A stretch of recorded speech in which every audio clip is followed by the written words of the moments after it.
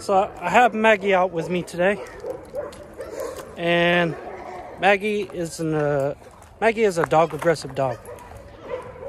I'm gonna try to get some footage of what my body language looks like when I'm dealing with this dog in stressful situations. As you can hear in the background, it's about to get stressful.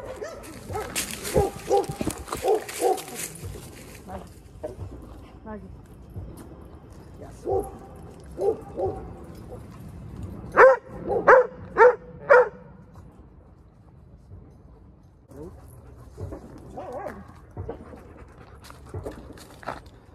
So I practice the way I'm gonna react in stressful situations. I have a dog that's loose, not even my dog. He's loose. But we know him. The way I dress this dog is the same.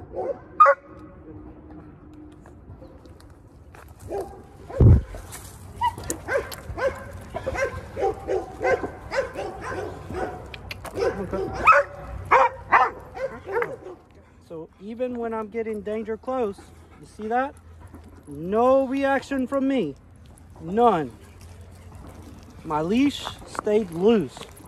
So what we've done is worked on a series of skills. Like we have communication with our leash, our markers. We have body language. So, I mean, she sees how I respond with my body language all the time. Now, once we've done this, we put ourselves in situations that we can realistically handle.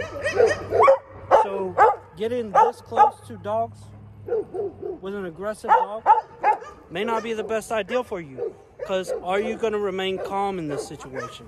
You have to build yourself up. So, practice in private, build your confidence, build your self efficacy, and work your way to doing things like this.